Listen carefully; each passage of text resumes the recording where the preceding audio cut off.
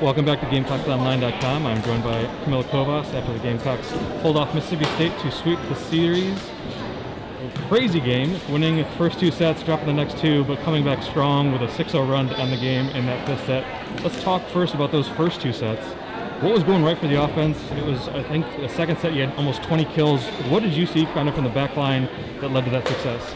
Um, the first set, the first two sets, I really think our offense was really being really aggressive, and Mississippi State's block was not getting to our like swings, and that really helped us.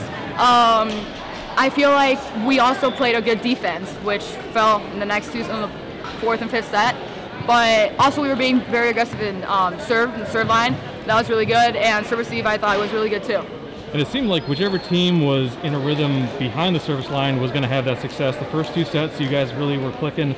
The second two sets, they were really testing you with those deep, hard-driven serves.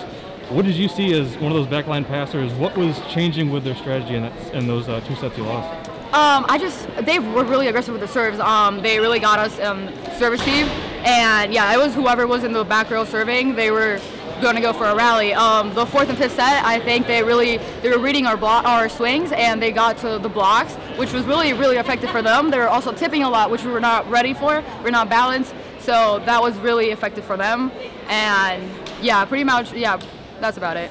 And it seemed like the most frustrating thing just watching the match was in the fourth and then early on in the fifth. They would kind of build an early lead, and you'd get a little bit close, but not close enough, and they pull away, whether it's a mistake on our side or a kill on their side how did it feel on the court coming out of that fourth set and then them building that quick lead in the fifth? So it was, for me personally, I was, it was a battle.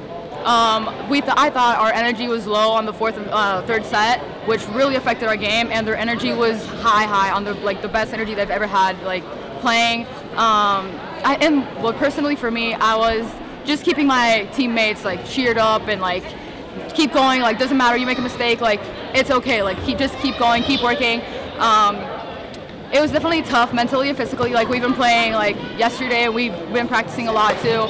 So it was just that last push we had, like that ga last gas we had in the car, and I thought it was it really worked out for us at the end.